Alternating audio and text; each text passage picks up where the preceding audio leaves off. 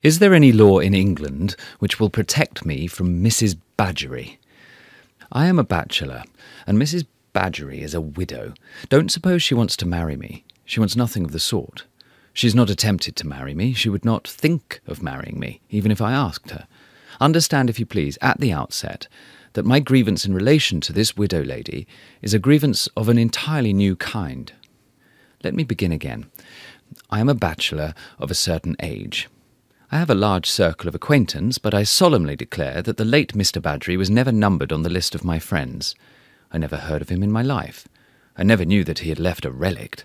I never set eyes on Mrs. Badgery until one fatal morning when I went to see if the fixtures were all right in my new house. My new house is in the suburbs of London. I looked at it, liked it, took it. Three times I visited it before I sent my furniture in once with a friend, once with a surveyor, once by myself, to throw a sharp eye, as I have already intimated, over the fixtures. The third visit marked the fatal occasion on which I first saw Mrs. Badgery. A deep interest attaches to this event, and I shall go into details in describing it. I rang at the bell of the garden door. The old woman appointed to keep the house answered it. I directly saw something strange and confused in her face and manner. Some men would have pondered a little and questioned her. I am by nature impetuous and a rusher at conclusions. Drunk, I said to myself, and I walked on into the house perfectly satisfied. I looked into the front parlour. Grate, all right. Curtain pole, all right. Gas chandelier, all right. I looked into the back parlour. Ditto, ditto, ditto, as we men of business say. I mounted the stairs. Blind on back window right? Yes, blind on back window right. I opened the door of the front drawing room, and there, sitting in the middle of the bare floor, was a large woman on a little camp stool. She was dressed in the deepest mourning. Her face was hidden by the thickest crape veil I ever saw, and she was groaning softly to herself in the desolate solitude of my new, unfurnished house. What did I do? Do? I bounced back into the landing as if I'd been shot uttering the national exclamation of terror and astonishment, Hello! And here I particularly beg, in parenthesis, that the printer will follow my spelling of the word and not put hello or hallo instead, both of which are senseless compromises which represent no sound that ever yet issued from an Englishman's lips. I said, Hello! And then I turned round fiercely upon the old woman who kept the house and said, Hello! again. She understood the irresistible appeal that I had made to her feelings, and curtsied, and looked towards the drawing room, and humbly hoped that I was not startled or put out. I asked who the crape covered woman on the camp stool was, and what she wanted there. Before the old woman could answer, the soft groaning in the drawing room ceased, and a muffled voice, speaking from behind the crape veil, addressed me reproachfully and said, I am the widow of the late Mr. Badgery. What do you think I said in answer? Exactly the words which I flatter myself any other sensible man in my situation would have said. And what words were they? These two. Oh, indeed. Mr. Badgery and myself were the last tenants who inhabited this house, continued the muffled voice. Mr. Badgery died here. The voice ceased, and the soft groans began again. It was perhaps not necessary to answer this, but I did answer it. How? In two words again. Did he? Our house has long been empty, resumed the voice, choked by sobs. Our establishment has been broken up. Being left in reduced circumstances, I now live in a cottage near, but it is not home to me. This is home. However long I live, wherever I go, whatever changes may happen to this beloved house, nothing can ever prevent me from looking on it as my home. I came here, sir, with Mr. Badgery after our honeymoon. All the brief happiness of my life was once contained within these four walls. Every dear remembrance that I fondly cherish is shut up in these sacred rooms. Again the voice ceased, and again the soft groans echoed round my empty walls and oozed out past me down my uncarpeted staircase. I reflected. Mrs. Badgery's brief happiness and dear remembrances were not included in the list of fixtures. Why could she not take them away with her? Why should she leave them littered about in the way of my furniture? I was just thinking how I could put this view of the case strongly to Mrs. Badgery when she suddenly left off groaning and addressed me once more. I am willing to go, if you wish it, after hearing my explanation. My heart is full, sir. I am quite incapable of contending with you. You would hardly think it, but I am sitting on the spot once occupied by our ottoman. I am looking towards the window in which my flower stand once stood. In this very place Mr. Badgery first sat down and clasped me to his heart when we came back from our honeymoon trip. Matilda, he said, your drawing room has been expensively papered, carpeted, and furnished for a month, but it has only been adorned, love, since you entered it. If you have no sympathy, sir, for such remembrances as these, if you see nothing pitiable in my position taken in connection with my presence here, if you cannot enter into my feelings and thoroughly understand that this is not a house but a shrine, you have only to say so, and I am quite willing to go. She spoke with the air of a martyr, a martyr to my insensibility if she had been the proprietor and I had been the intruder, she could not have been more mournfully magnanimous. All this time, too, she never raised her veil. She has never raised it, in my presence, from that time to this. I have no idea whether she is young or old, dark or fair, handsome or ugly.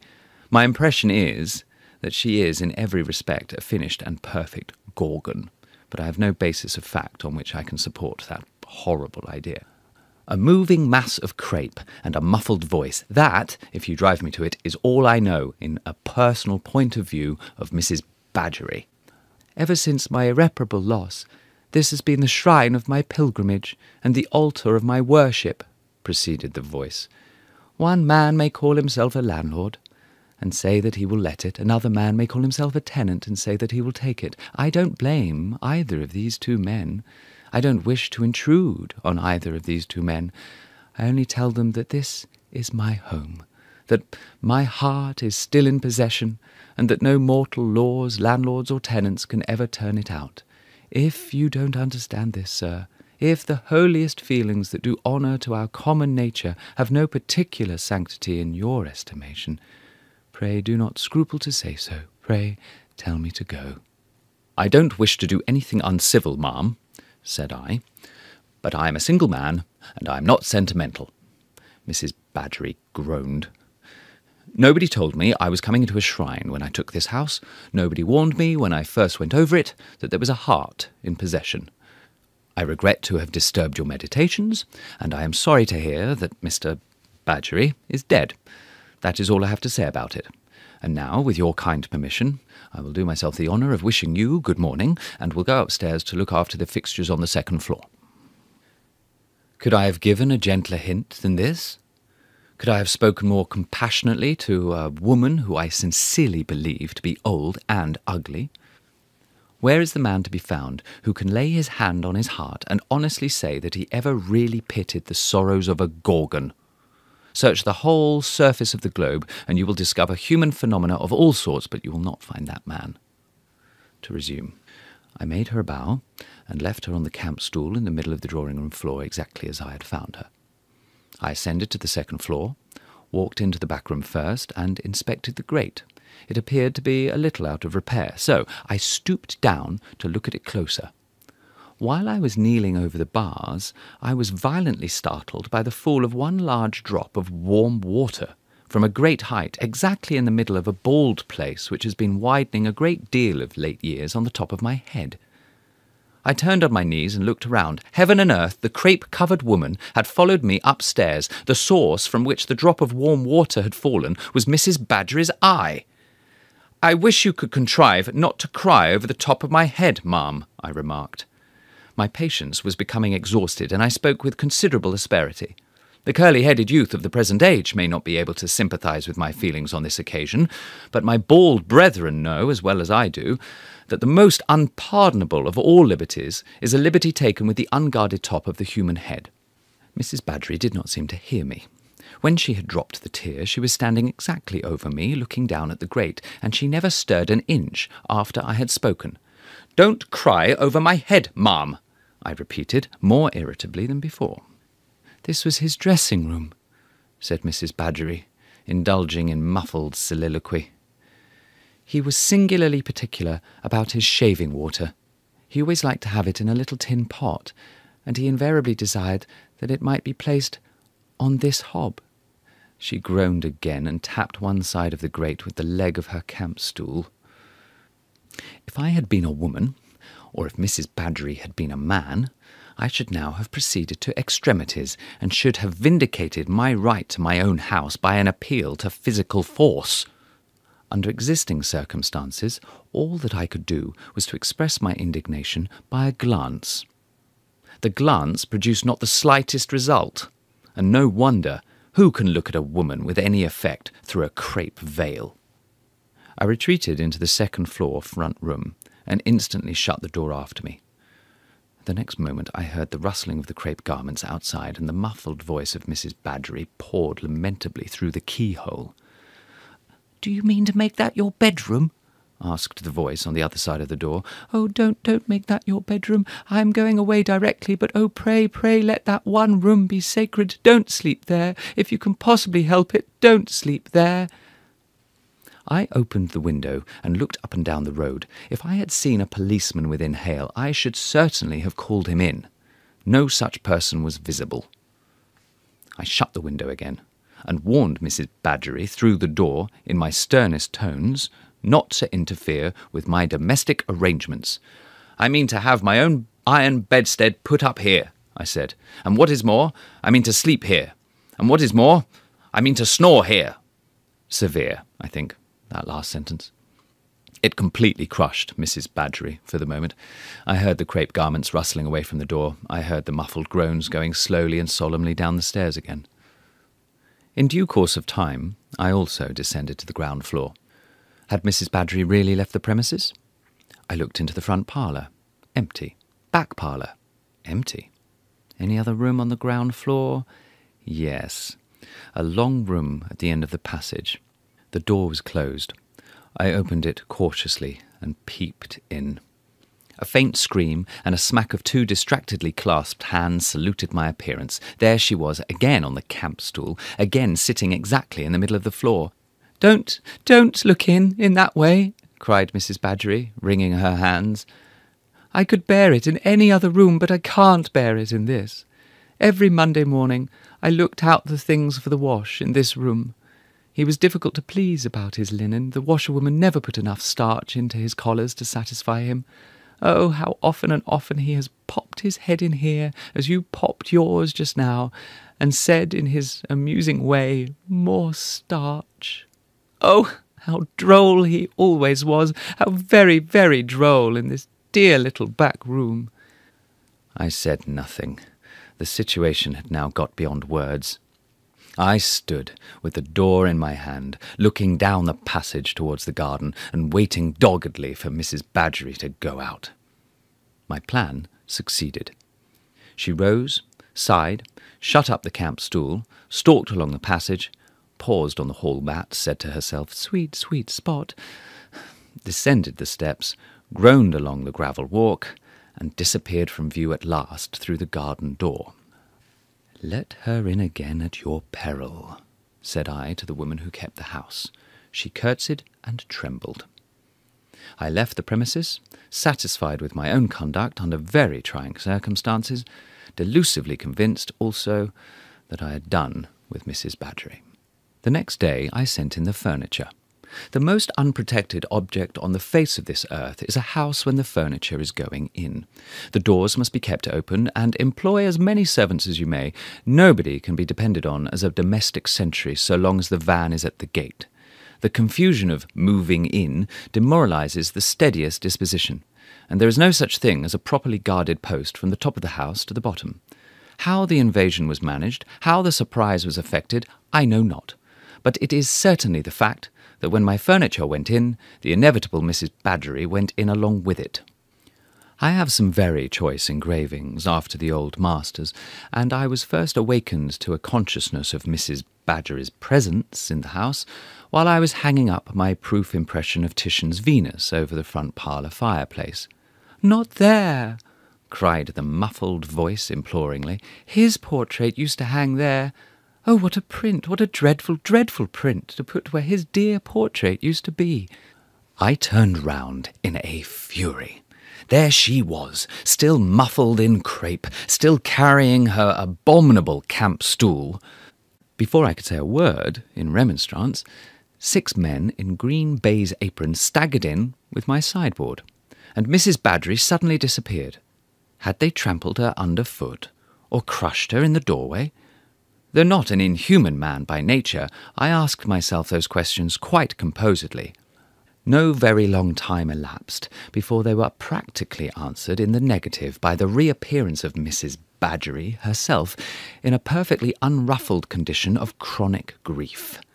In the course of the day, I had my toes trodden on, I was knocked about by my own furniture, the six men in baize aprons dropped all sorts of small articles over me in going up and downstairs, but Mrs. Badgery escaped unscathed.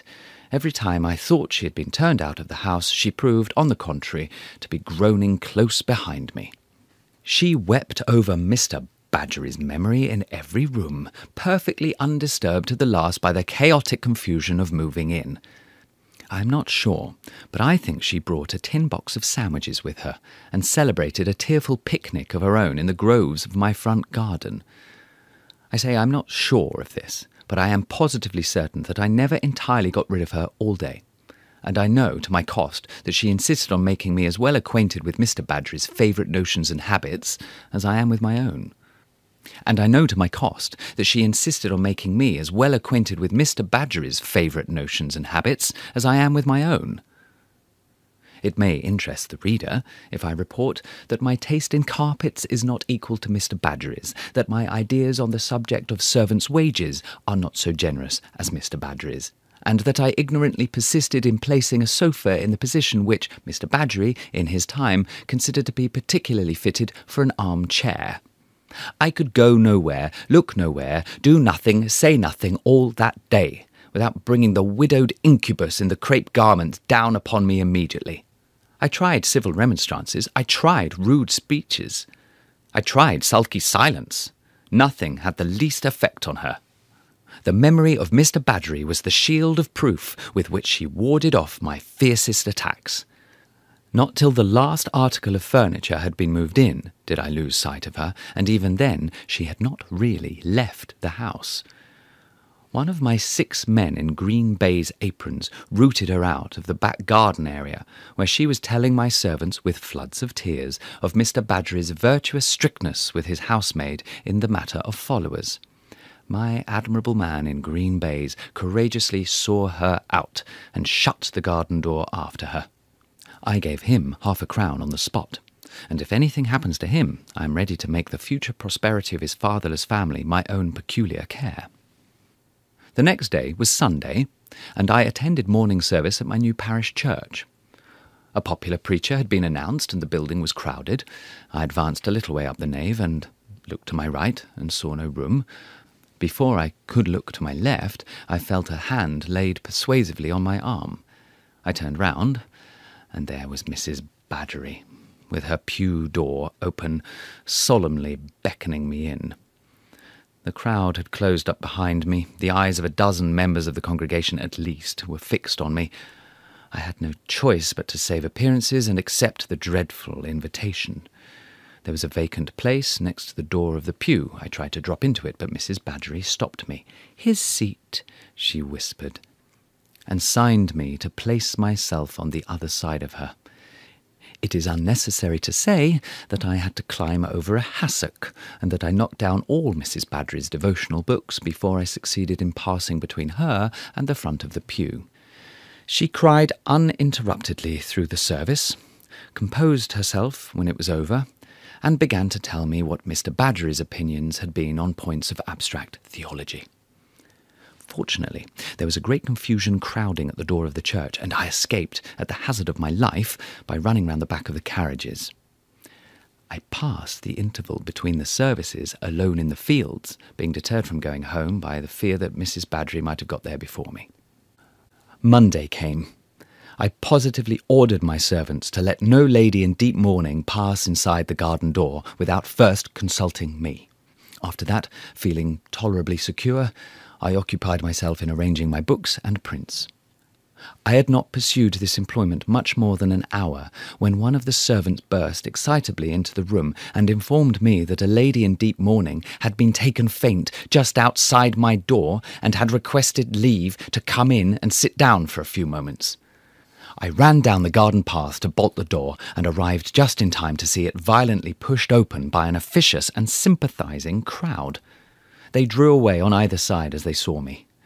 There she was, leaning on the grocer's shoulder, with the butcher's boy in attendance, carrying her camp stool. Leaving my servants to do what they liked with her, I ran back and locked myself up in my bedroom.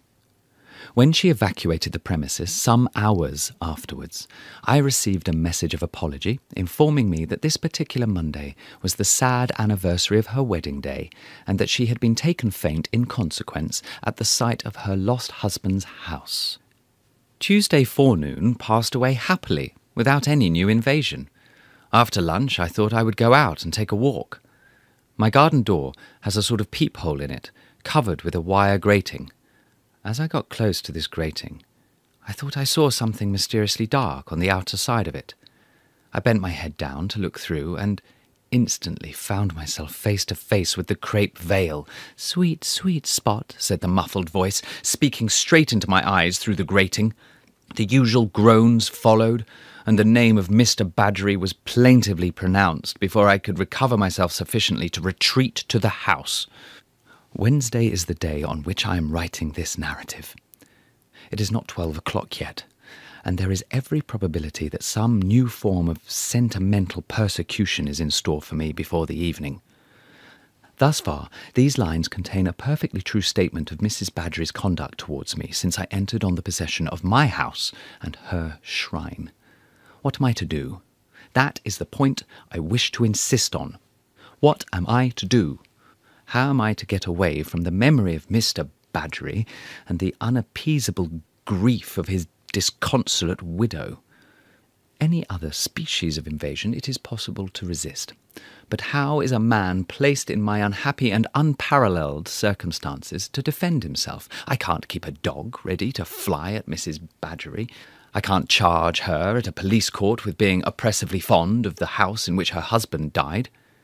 I can't set man traps for a woman, or prosecute a weeping widow as a trespasser and a nuisance.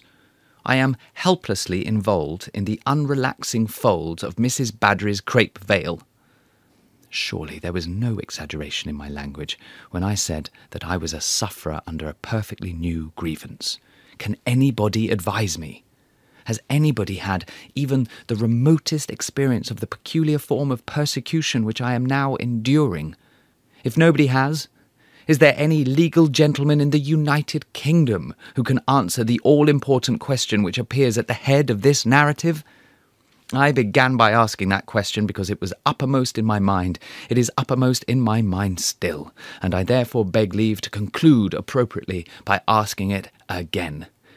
Is there any law in England which will protect me from Mrs. Badgery? Mrs. Badgery by Wilkie Collins was read by Christopher Harper and produced by Simon Richardson.